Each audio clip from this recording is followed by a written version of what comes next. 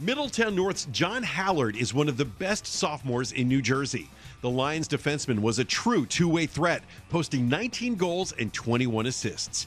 Hallard had a seven game goal scoring streak, and in the state playoffs, he had four assists in the Lions' opening round win against Wayne Hills. Hallard can deliver a blast from the point and doesn't neglect his duties in the defensive zone.